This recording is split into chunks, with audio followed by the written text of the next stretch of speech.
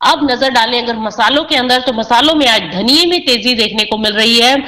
धनिए के अंदर आज खरीदारी है। निचले स्तरों पर बाज़ार एक बार फिर से उठते हुए नज़र आए हैं। नवंबर वायदा की अगर बात करें तो नवंबर वायदा आठ हज़ार के ऊपर निकल चुका है। तो यानी कि बयासी के स्तर अब एक्सपेक्टेड है कि धनिए के अंदर देखने को मिल सकते हैं। धनिए के अंदर भी अगले वायदा में आप खरीदारी करके चल सकते हैं। सेवन नाइन फोर ज़ीरो के आसपास मिले या सेवन नाइन हंड्रेड के आसपास। तो इस लेवल के अंदर आप इसमें खरीदारी की रणनीति बना सकते हैं। अठहत्तर का स्टॉप लॉस लगाकर ऊपर में बयासी के टारगेट के लिए इसमें बाइंग करके चला जा सकता है।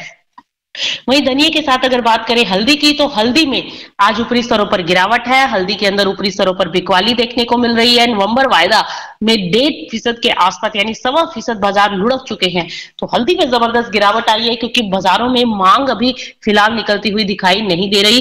फेस्टिवल सीज़न की एक डिमांड जो एक्सपेक्ट की जा रही थी, वो फ़िलहाल बाजारों में अभी लौटी नहीं है। तो अभी बाज़ार नीचे जा सकता है, चौहत्तर से अगर लेवल तोड़ता है तो तिहत्तर तक नीचे गिर सकता है। उस लेवल के ऊपर खरीदारी करके चला जा सकता है। वापिस से बाज़ार पिछहत्तर सौ छिहत्तर तक आता हुआ दिखाई दे सकता है।